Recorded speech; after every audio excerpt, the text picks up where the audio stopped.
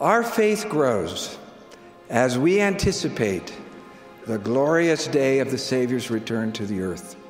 It will be breathtaking and will exceed anything mortal eyes have ever experienced.